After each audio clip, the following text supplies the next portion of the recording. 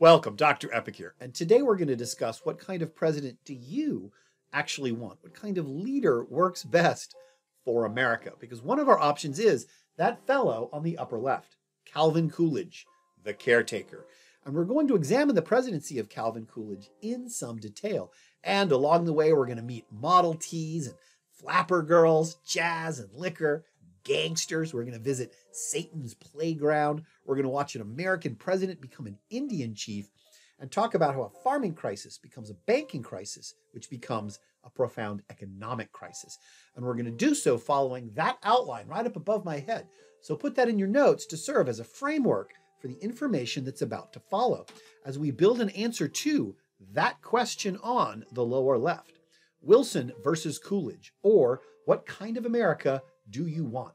Evaluate the presidencies of Woodrow Wilson and Calvin Coolidge, their respective ideologies, their successes, and their failures in the early 20th century. From a modern perspective, who was the better president? Now, Woodrow Wilson's political career ends quite sadly. He has a massive stroke in October of 1919, and he is effectively paralyzed for the last 17 months of his presidency, paving the way for a massive massive Republican victory in the election of 1920. Warren Harding coasts into the presidency on a wave of support. And it, Warren Harding is elected specifically to undo the activist presidency of Woodrow Wilson. Warren Harding wins 60% of the popular vote. It's a massive win. Now, Warren Harding, as a senator, had actually led the fight against Woodrow Wilson's European plans and against the League of Nations in the Senate. Warren Harding ran on a return to normalcy. He wanted to move away from Wilson's radical reimagining of the American government. He wanted to move away from foreign entanglements in Europe. Now, Warren Harding has his own set of scandals. He gets involved in this bribery scandal with the Teapot Dome. He gets involved in this sexual scandal with his 24 year old secretary. And he manages to avoid all of these scandals by dying. He dies on August 2nd, 1923, and his vice president becomes the president of the United States. And that man was Calvin Coolidge. That's him on the lower left. Calvin Coolidge is actually visiting his father in Vermont at the time when they receive this news that you know you have to be sworn in as president. So they look around like who is the nearest judge? And much to their surprise, Calvin Coolidge's father is the nearest judge. So Calvin Coolidge becomes the only president sworn in as president by his own father. And this is the beginning of the presidency of Calvin Coolidge, which lasts from 1923 all the way to 1929. So let's stop and just talk. Who is this guy? Who is Calvin Coolidge? Now, he's a New Englander. He's born in Vermont on July 4th, 1872. He was a successful lawyer in Boston who rose through the ranks of the Republican Party to eventually become the governor of Massachusetts in 1918. And he became uh, famous nationally as a result of his actions during this massive police Boston strike of 1919. We're going to examine that in just a bit because what happens in 1919 is that as a response to low wages and long hours and wartime inflation, the Boston Police Department was very upset and the policemen voted to strike. And the result was the 1919 Boston police strike. The police go on strike, and Boston explodes into violence. Street gangs break into stores, looting is rampant. The striking police start fighting openly in the streets because the mayor of Boston brings in the state police, and the city police are fighting with the state police. The entire city dissolves into chaos. Nine people are killed. But the strike was massively unpopular. People blamed the striking policemen for the violence and the chaos in the streets of Boston. And in fact, this strike is one of the very few strikes uh, in American history where the people, the average workers, refused to side with the strikers. They sided with the government against the strikers. The mayor of Boston admits it has escaped his control, and the people of Boston appeal to the governor for help.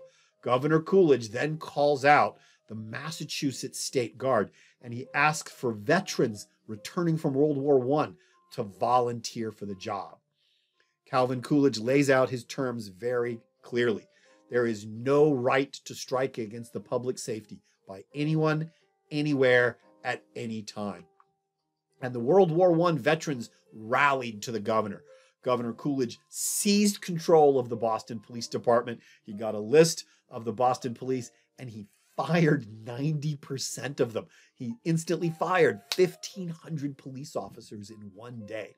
And then over the next few years, they rebuilt the Boston police force pretty much from the ground up, allowing veterans and the state guard to patrol the streets of Boston for several years. And it worked. The chaos ended, and his actions were incredibly popular. Overnight, Calvin Coolidge became a national hero. And this is why Warren Harding picks Law and Order Coolidge as his running mate in 1920 in an America uh, racked with the Spanish flu, the results of the Great War, police strikes, there's an economic depression, the Palmer raids are still going on, Wilson's wartime socialism is still everywhere. The American people had had enough. They wanted Warren Harding's return to normalcy. They wanted law and order Coolidge. Now, Coolidge was a very taciturn individual and it earns him this lifelong nickname, Silent Cal. But he was highly intelligent, he was highly skilled, uh, he was fluent in multiple uh, languages. In fact, one diplomat jokingly described him as, you know, the president can be silent in five languages. And this makes his political philosophy less than transparent, less than apparent. Unlike Wilson, who wrote everything down, uh, Coolidge wrote virtually nothing at all. So the philosopher of this caretaker president has to kind of be pieced together from his actions and speeches uh, given throughout his life. Many of these speeches and addresses were later collected into Coolidge's book on political philosophy, titled Have Faith in Massachusetts, published 1919, a year before the big Republican landslide of 1920. And later, Calvin Coolidge becomes one of the first American presidents to give regular radio addresses, often speaking directly to the American people through this strange new medium of radio. And this is Calvin Coolidge's opinion on laws and governance as he describes in Have Faith in Massachusetts. Coolidge writes Men do not make laws, they do but discover them. Laws must be justified by something more than the will of the majority. They must rest on the eternal foundation of righteousness. That state is most fortunate in its form of government, which has the aptest instruments for the discovery of laws. Again, people don't create laws, they don't invent laws, they merely discover the laws that work really well. This is a caretaker philosophy. Good laws and good governance are things slowly discovered over time, not invented wholesale. A caretaker government sees itself as the inheritor of a system that already works pretty well. And if a problem arises, then the problem can be identified and addressed through federal action. But it is the role of the government, it is the role of the president to simply be a caretaker, a gardener, to do as little as possible and save their strength for the really big problems that it simply cannot avoid. And this is another one of Calvin Coolidge's sayings. It is much more important to kill bad bills than it is to pass good ones. Calvin Coolidge would be completely happy vetoing a hundred bad laws rather than passing one really good one. And Calvin Coolidge adores the Constitution. To him, it is a sacred document discovered by the founding fathers. In fact, this is what Calvin Coolidge says about the US Constitution. To live under the American Constitution is the greatest political privilege that was ever accorded to the human race. And again, compare and contrast Coolidge's perspective on the American Constitution, which it is this near perfect document discovered by the founding fathers, to Woodrow Wilson's opinion of the US Constitution, in that it is an impediment to progress and the will of the government to impose uh, its goals and to find the goals of society. And it's a really interesting question to ask, like how each man's view of the US Constitution reflects their respective views uh, for the role of government in a society. It's really interesting. Uh, Calvin Coolidge reveres and would never dream of changing a single period or comma in the US Constitution. But to Woodrow Wilson, it's just something to be ignored or discarded or altered at will. So, in 1923, Silent Cal becomes president, and he inherits a country that is absolutely tired of Wilson's activism. And of course, the first really big issue is a brutal economic recession that has been caused by the end of the Great War. Now, Coolidge had a great advantage in this, in that he inherited Warren Harding's Secretary of the Treasury, a fellow named Andrew Mellon. That's Andrew Mellon right up above my head. And Andrew Mellon is a treasure. Andrew Mellon was an economic genius, probably the most brilliant American treasurer since the days of Alexander Hamilton. Now, Andrew Mellon was actually an old robber baron left over from the Gilded Age. He was a banker. He was like a really good friend of Henry Frick, if, if you can remember him. Uh, Andrew Mellon and, and Henry Frick would like tour Europe buying art together. And one of the things that both Coolidge and Mellon really, really hated was the concept of federal income taxes. They don't like this at all. In fact, they view it as something that was profoundly mistaken. And this is what Coolidge says on the subject. The collection of taxes, which are not absolutely required, which do not beyond reasonable doubt contribute to public welfare, is only a species of legalized larceny. Under this republic, the rewards of industry belong to those who earn them. Coolidge and Mellon do not like the federal income tax system, which, have, which has, after all, it's only 10 years old. Now, they don't have the power to abolish the income system, but they can weaken the system. What they do is together, Coolidge and Mellon devise a series of massive cuts in income taxes. They cut taxes by more than two thirds, from 71% taxes at the highest tax bracket to less than 25%. This becomes the lowest federal income tax in American history. Now, this is the origin of what will eventually be called supply side economics. You can see up there in all caps. Supply side economics is the idea that cutting taxes increases economic activity as the government is not pulling money out of the economy through income tax. And as people get to keep their own money, they then spend it on themselves or they spend it on their homes or they spend it on improvements in their lives. And the result is economic growth. Hence, supply side economic increases, it actually increases the supply of goods and services. That's why it's called supply side. Less government action increases economic prosperity. Or at least that's how it's supposed to work in theory. And this is what Coolidge says on the subject. I want the people of America to be able to work less for the government and more for themselves. I want them to have the rewards of their own industry. This is the chief meaning of freedom. Calvin Coolidge is going to shrink the federal government. And it worked. The supply side economics works. The cut in federal income taxes works. The sharp recession of 1919 to 1923 vanishes almost overnight and it leads to six years of large scale, massive economic growth, a period of growth that will become known as the Roaring Twenties. This was a period of economic growth, the scale of which had not been seen since the Gilded Age. The entire US economy increases by almost 30% in a six year period.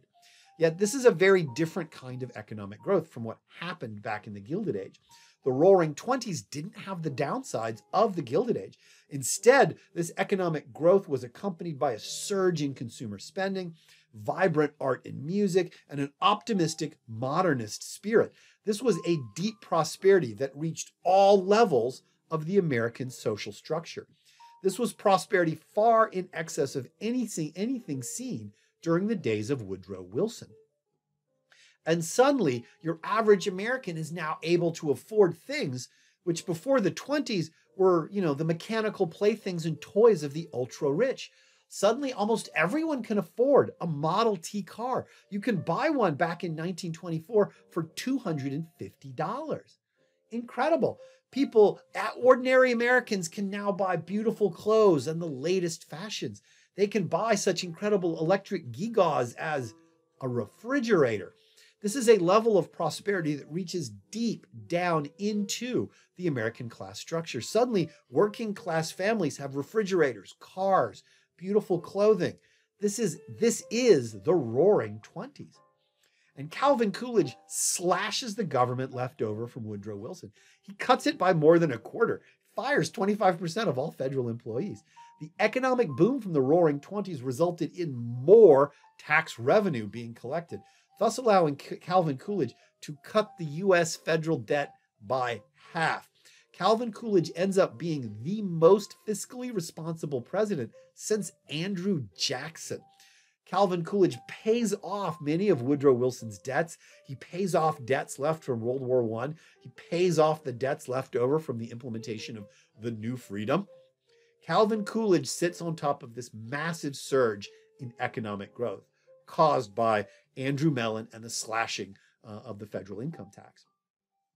And this is this very famous quote by Calvin Coolidge The chief business of the American people is business. If government kept its hands off the economy, business would prosper.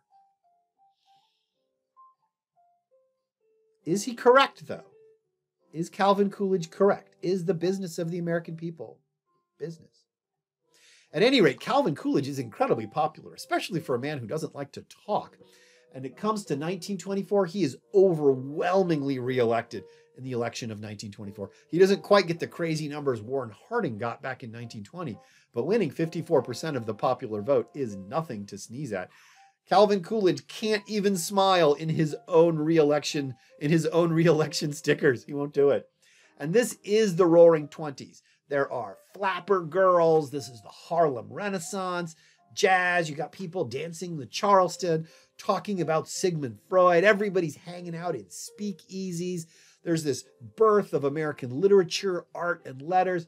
This is the period of the lost generation, these kind of jaded veterans coming back from World War One, thinking that they were promised, they were fighting for civilization and democracy, and only to find they were largely fighting to save the bottom line of New York banks.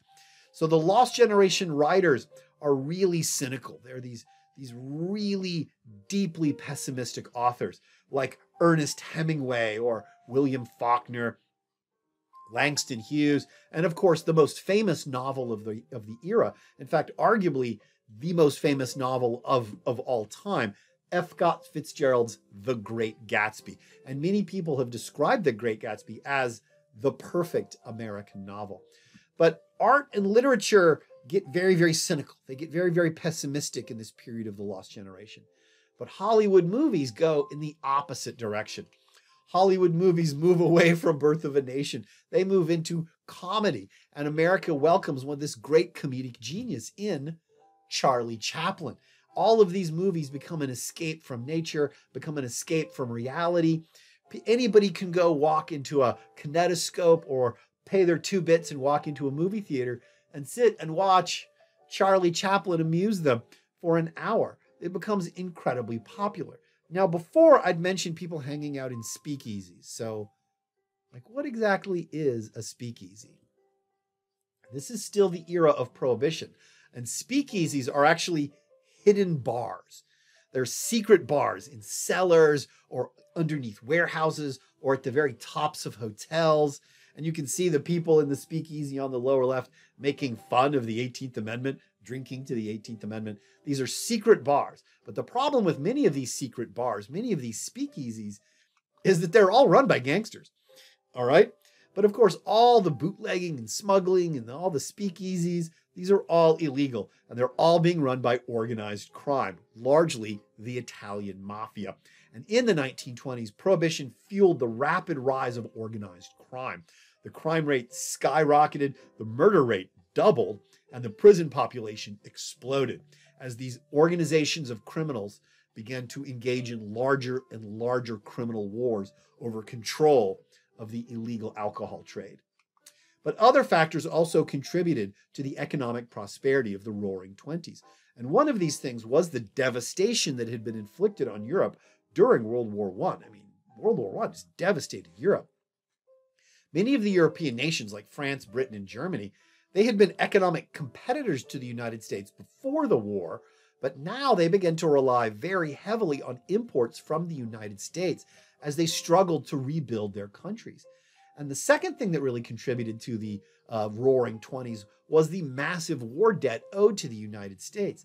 Again, France and Britain alone owed the United States more than $10 billion, and they really struggled to make payments. You can see on that chart on the left the, the debt owed by these foreign countries to the United States Britain is barely able to make the interest payments on its loans.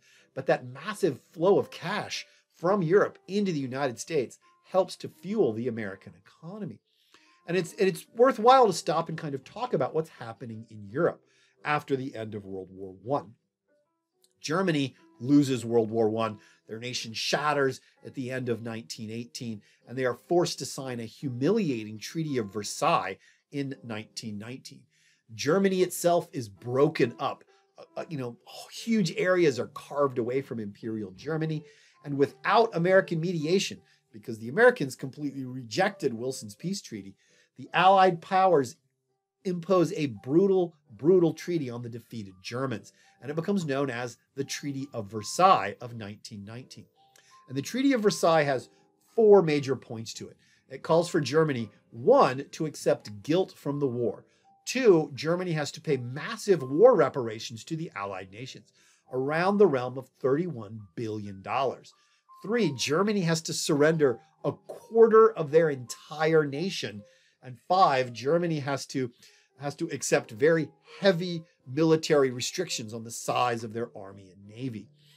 And the problem with the Treaty of Versailles, the problem with the Treaty of Versailles is that it's brutal enough to humiliate a proud and industrious nation, but it's not crippling enough to really ever slow them down. In other words, the Treaty of Versailles really does nothing more than really, really anger and humiliate the German people. And it's only a matter of time before the German people demand uh, retribution for this defeat and humiliation.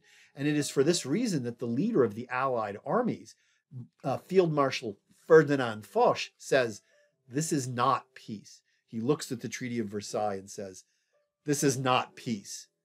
This is an armistice for 20 years. He will be absolutely correct. And after the Treaty of Versailles, you have this period in Germany called Weimar Germany. And it's called Weimar Germany because the Constitution was written in Weimar. And Weimar Germany can barely can really control the country. And it's this period of uh, a great deal of economic instability and political instability as Germany is just kind of trying to put itself together, you know, from the ruin of the First World War. And Germany particularly suffered. Uh, it experienced a near total economic collapse in the early 1920s. And in a desperate attempt to save their country, Weimar Germany resorted to something called hyperinflation. They began to simply print money outrageously in an attempt to pay all their bills and keep the country solvent. And the result of hyperinflation was a complete and total disaster. I mean, you can see the guy in the street literally sweeping up German money because it's so utterly worthless that people just leave it in the gutter. There's a loaf of bread which is being sold for 460,000 Deutschmarks. That is hyperinflation. This affected the United States because Weimar Germany is trying to pay its war reparations to France and Britain, and France and Britain are trying to use those war reparations to pay off their debt to the United States. So if Germany actually collapses, so does France and Britain. And if France and Britain collapse, then they're going to bring down the American banking system. So hyperinflation becomes a starts as a German problem and rapidly becomes an international problem. And you can see there's the, the dollar bill right at the top, that, that currency, a hundred billion mark. There is a toilet paper and the amount of money required to buy uh, that, that roll of toilet paper. This is hyperinflation. Now, Weimar Germany isn't alone. Other countries have experienced a hyperinflation. And there's this great little chart there on the upper left, like what causes hyperinflation. And it happens when a country begins to print money to pay for goods and services.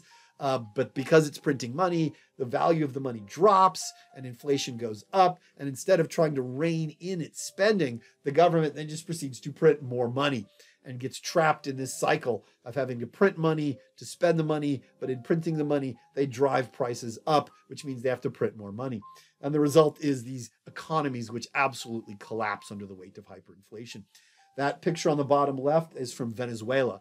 Venezuela went through its own cycle of hyperinflation in the 21st century, and there is six tomatoes, and the stacks of cash is how much money required to buy those six tomatoes. Uh, in Africa, Zimbabwe went through hyperinflation, and there is a day laborer, and in the wheelbarrow, That's how much, that's his daily pay. The money becomes absolutely worthless uh, in a cycle of hyperinflation. But you see, hyperinflation was a German problem that then became an international problem. So Calvin Coolidge asks his vice president, a guy called Charles Dawes, to remedy the situation. And this is what Charles Dawes comes up with the Dawes Plan of 1923. The Dawes Plan was an arrangement between the United States and Weimar Germany in which the Germans could make use of the American banking system. They could borrow money from American banks to, to invest money in their own country and thus spark economic growth. Their growing economy would then pay off their war reparations to France and Britain, and that would enable France and Britain to pay their debt to the United States. I mean, it's it's it's kind of a, a very complex uh, situation. So the U.S. invests in Germany. The German economy grows. They pay their war reparations to France and Britain, and then France and Britain pay off their debt to the United States. Right, that's how it's supposed to work. And it did work. It, it sort of worked. And you know, you, you can see from the cartoon on the upper left that that's a German cartoon.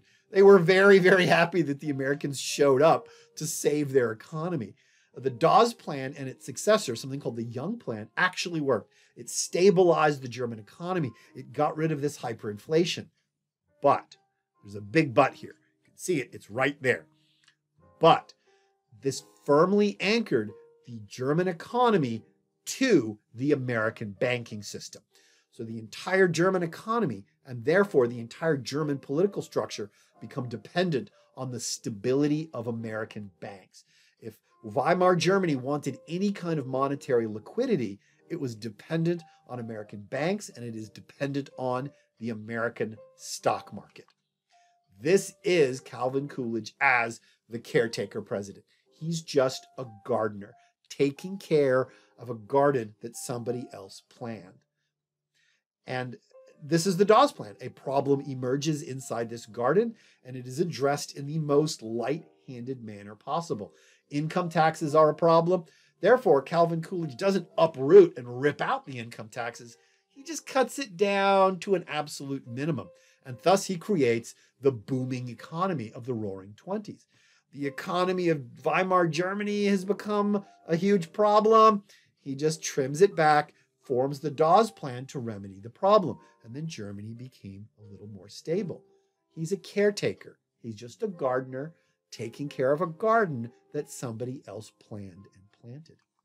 But there are two problems with this kind of light handed approach. One, it assumes that there are no big pre existing problems in America.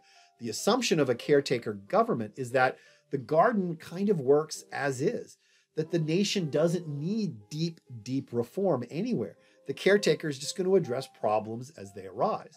Secondly, it is unable to anticipate or predict huge growing problems that will lead to a massive crisis and even catastrophe in the future because it's not a far-sighted plan. A caretaker government is just going to take care of problems as they arise. For example, prohibition. Even by 1924, it was obvious that the 18th Amendment was a complete and total failure. It was felt very unevenly on the American people, with rich and affluent Americans having very little difficulty getting liquor. Speakeasies abounded, whiskey stills proliferated. It's not hard to make whiskey. People brewed up gin in their bathtubs.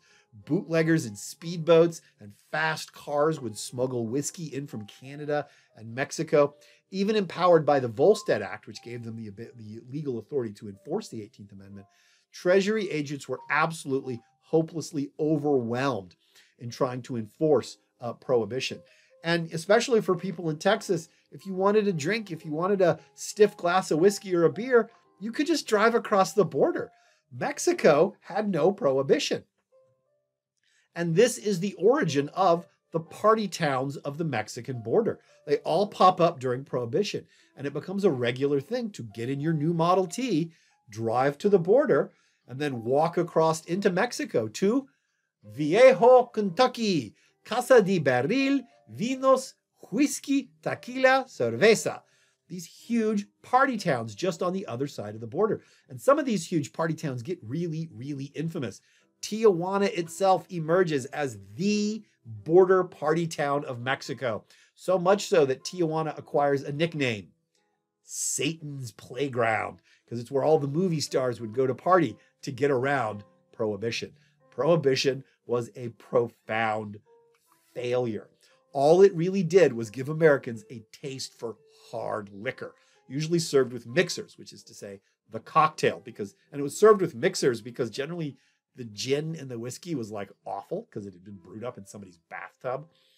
And so they, they mixed these various mixers uh, with the hard liquor to hide the awful taste of the homebrewed gin or the homebrewed whiskey. And this, in fact, continues to this day. Uh, Americans generally prefer drinking highballs and Boilermakers, fancy cocktails, instead of Europe, which just drinks generally beer, wine, and hard cider. But in America, we like our cocktails. In fact, we like our cocktails so much, we actually created a special soda to drink with backwoods moonshine. And that is the origin of Mountain Dew. Because the backwoods moonshine was so horrible tasting, they wanted to mix it with a very syrupy, super sweet, sugary soda. So they would mix the moonshine and the soda, and the special soda that they made to mix with this moonshine was Mountain Dew, and that that is, that is actually the origin of the soda, made to be drunk with backwoods moonshine. And prohibition gangsters rapidly grew in wealth and power, and these these criminal organizations became elaborate organizations dedicated solely to defeating prohibition, de- dedicated solely to defeating crime. There is the Mafia Commission, and you can see all of these famous gangsters over to the left there's Al Capone, the original Scarface. There's Joe Bonanno. And one guy I want you to pay attention to Lucky Luciano, one of the crime bosses of New York City. He gets very important later on. And all of this criminal organization is fueled by bootlegging. But from bootlegging, they expanded to gambling, prostitution, graft, fraud, theft, kidnapping, arson, bribery. They corrupt entire cities, they take over entire neighborhoods, and soon they begin to run large parts of the United States, most famously Chicago. There is the very infamous gangster Al Scarface Capone. He became the mob boss of Chicago, bribing judges, paying off the mayor, controlling the police. The organized crime families begin to escalate and they begin to go to war with each other. They're not worried about the police who can't even keep up with them. The real threat to these gangsters are other gangsters. And these other gangsters go to war with each other in crime wars of ever escalating violence. This is why the murder rate doubles. All right. People began getting gunned down in the streets, shot at with Tommy guns. You can see from the crime statistics on the upper left suicides, homicides, all of this is going up.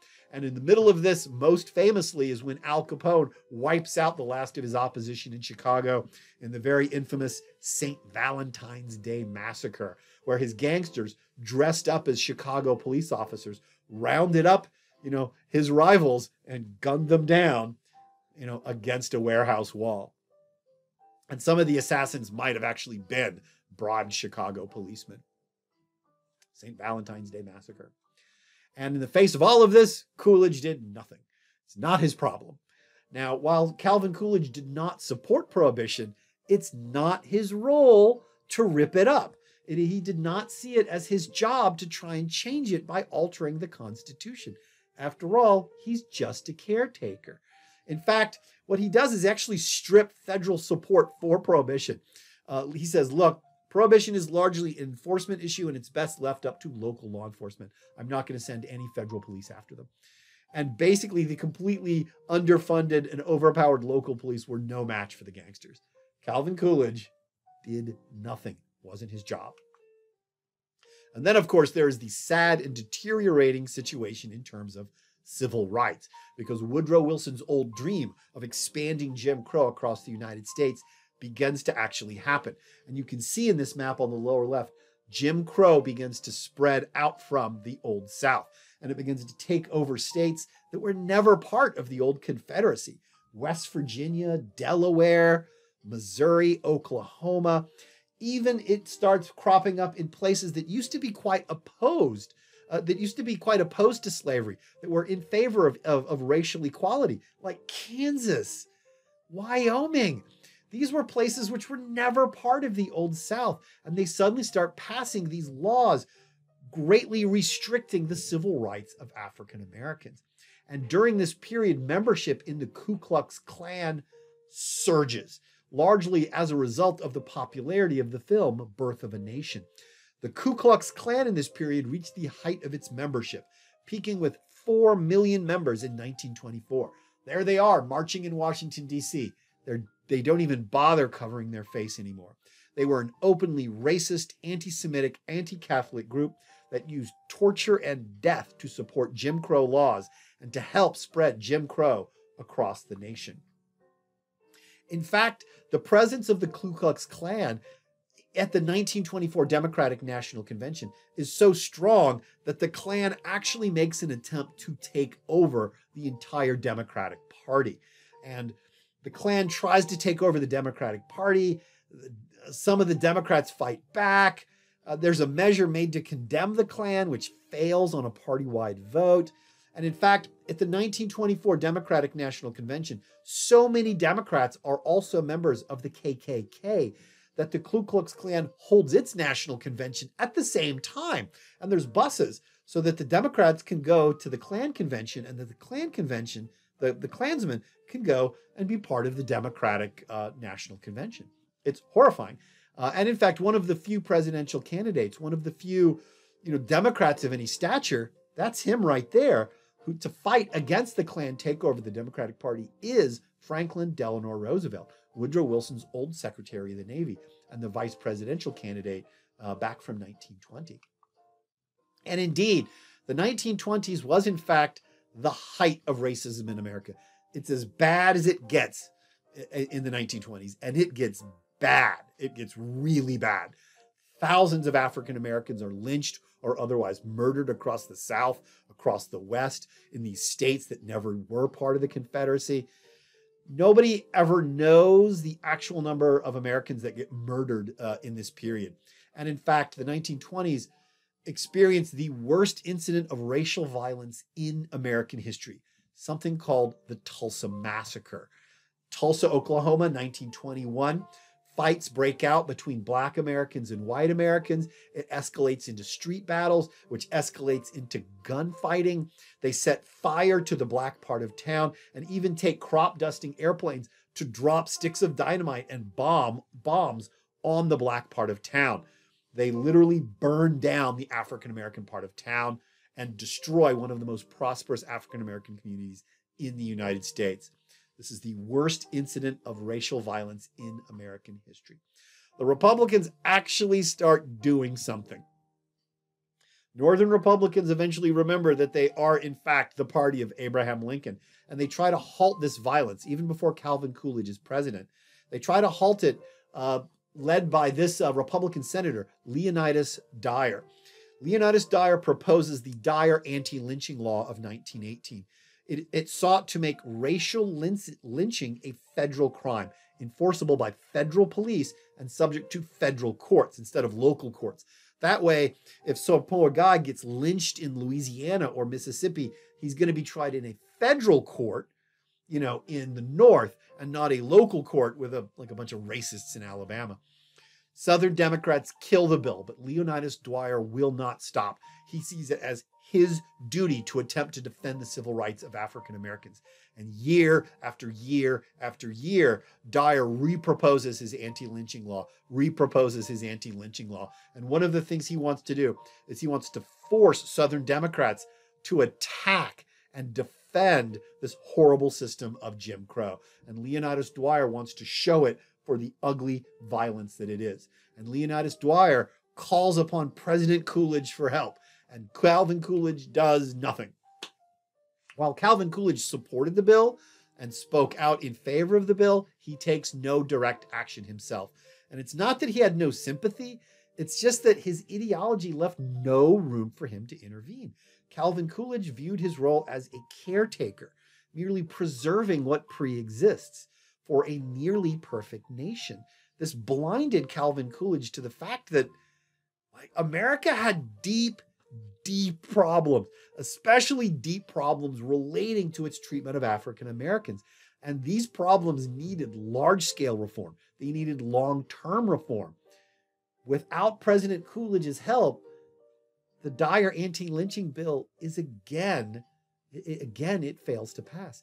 And Congress has, in fact, never passed an anti lynching bill, even up to the 21st century. They tried to pass one, I believe, in 2020, and again, it failed. Leonidas Dyer's legacy still remains unfulfilled. But one of the odder things that Calvin Coolidge does is he really goes to bat not for African Americans, but for Native Americans, supporting the Indian Citizenship Act of 1924, which automatically grants American citizenship to all Native Americans. And for his efforts, he is asked to visit the Sioux Indian Nation, and Calvin Coolidge is proclaimed to be a chief of the Sioux Nation. And that is how an American president became a Native American chief. Now, remember when I said there's two problems with Calvin Coolidge's ideology? There's two problems with this kind of caretaker approach to government. We've already talked to one that there are no big pre existing problems in America, but it's the second one that is going to be even more dire.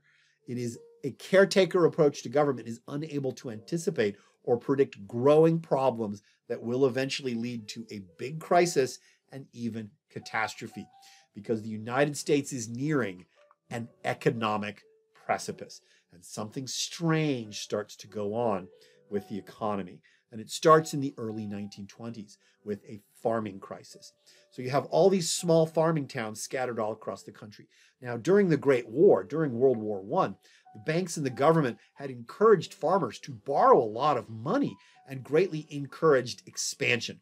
Farms across the country, even small farms, accumulated a lot of debt. They would borrow a lot of money to buy fertilizers and tractors and seed and expand their farms, thinking that they're just going to sell all of this food to Europe and they did uh, they did make a lot of money but as they made more money that just encouraged them to borrow more and more money and you can see the price of corn and wheat uh, over there on the left it goes up it goes up it goes up and then it comes crashing down because as european agriculture recovered from world war i the nations of europe not only stopped buying american food but the nations of europe began to sell their own agricultural produce and they the, the nations of europe went from customers to competitors. Prices collapsed. Look at that. The price of corn fell by 63% in 1920, 1921. Uh, the price of wheat falls by 52%. Farming incomes collapsed by two thirds. But so many of these small farms owed a lot of money to their local banks. And this is how a farming crisis eventually starts to become a banking crisis as small town banks start foreclosing on family farms. And you can see in the chart right up above me, that's the rate of farm mortgage foreclosures. And you can see it just goes up and up and up. It becomes very, very difficult to make a living as a small farmer in the 1920s. And when banks foreclose on these farms, they seize these farms, but then nobody wants to buy these farms because, again, it's really hard to make a living as a small farmer. So the result is, is that all of these small banks just get saddled with worthless farm after worthless farm, and these banks themselves start to fail. Between 1920 and 1929, more than 200 rural banks go out of business. And because banks at the time were not required to carry insurance, when a bank collapses, it takes the life uh, savings of every one of its customers with it. And if you've got a small town with only one bank, that bank goes belly up it will wipe out the savings of your town. It might even wipe out the entire town. Whole small towns are erased as this wave of bank failure just crosses the United States. But you see, all of these little banks are connected. Little banks are connected to each other, and little banks are connected to the big banks.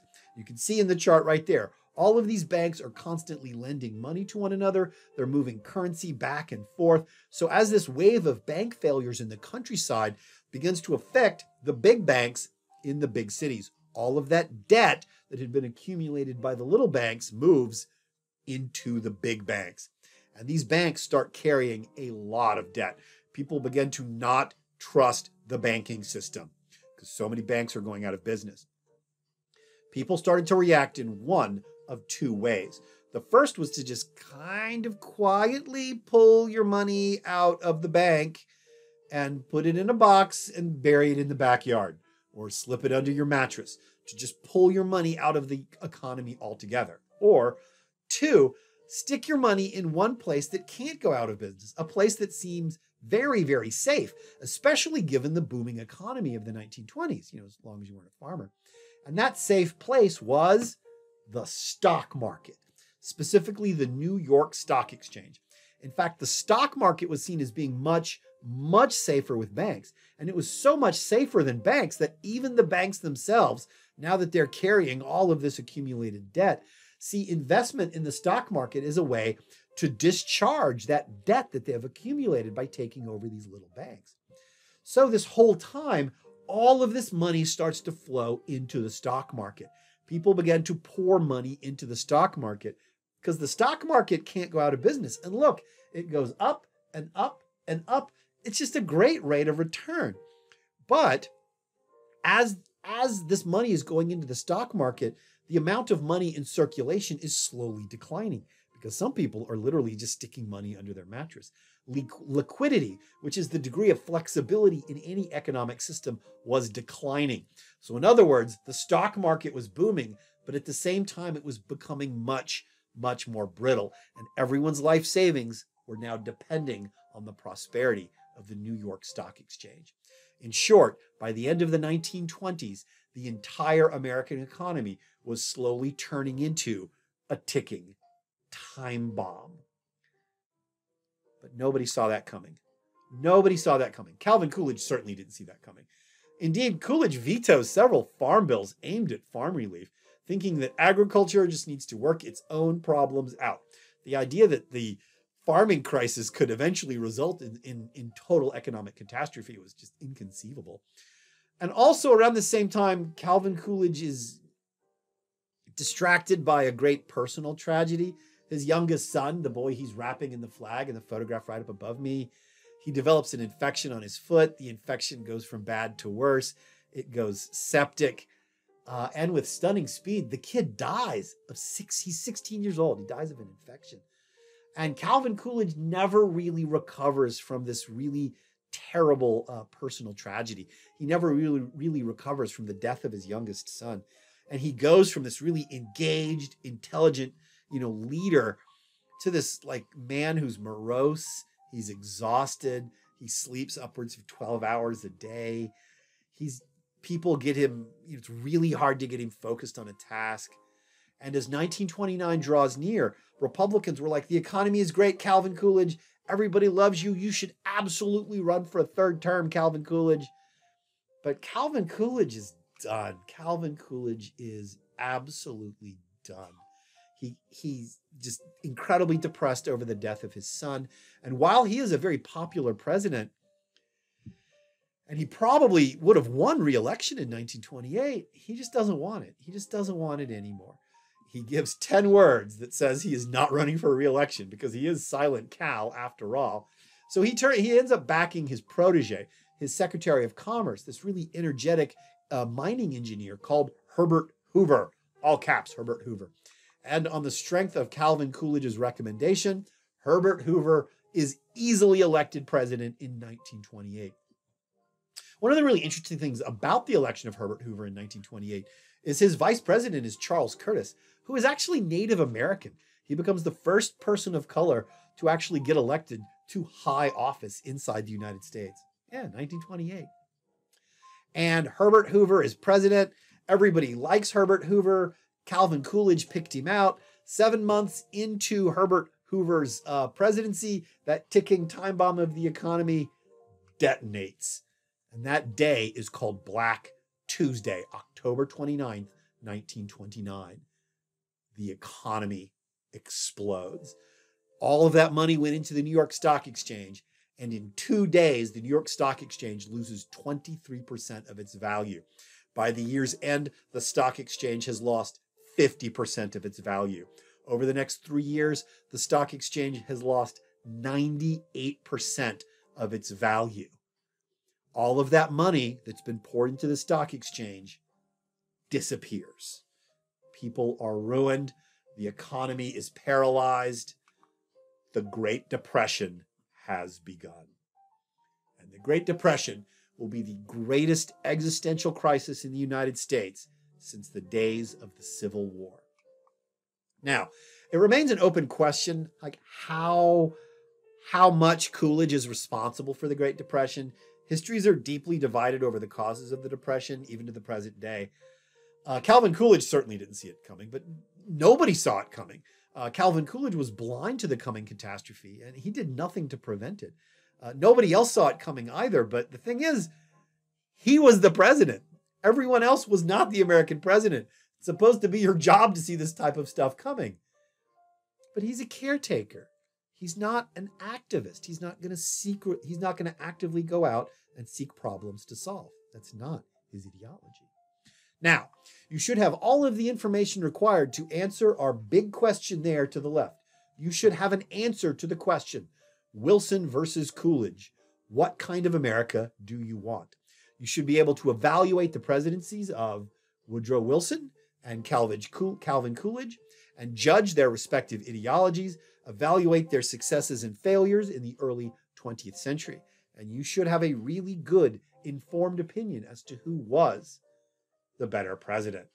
And we're going to go beyond Calvin Coolidge in the next lecture. We're going to talk about the Great Depression itself. And I will see you there.